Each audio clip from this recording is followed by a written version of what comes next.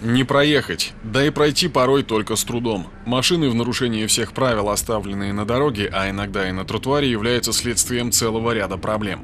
Одна из них – это отсутствие парковочных мест перед большинством пермских торговых и деловых центров. Возле крупных торговых центров, магазинов э, и так далее проектами предусмотрены парковочные места, но их как видно из практики, явно недостаточно для того количества автотранспорта, которые прибывают в эти торговые центры, ну и для, для того транспорта, водители которых хотят посетить вообще эти заведения с массовым пребыванием людей.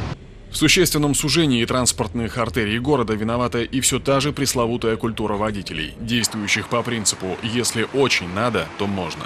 Не смущает автовладельцев и факт присутствия по соседству сотрудников ГИБДД. В 2009 году повсеместно вошла в практику эвакуация брошенных машин на штрафные стоянки.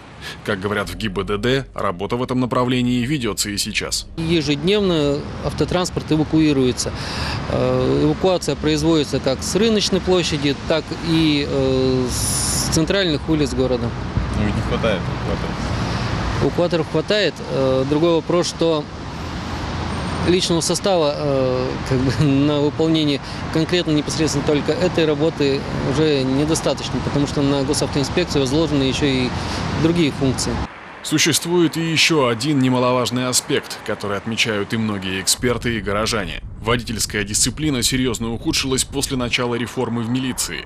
Закрываются стационарные посты ГИБДД. В случае мелкого ДТП ждать автоинспекторов можно часами.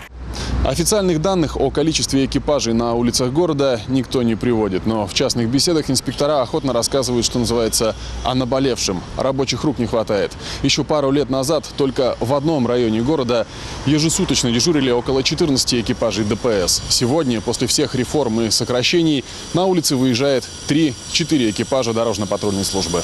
Антон Шибанов, Василий Дулепинских, телевизионная служба новостей.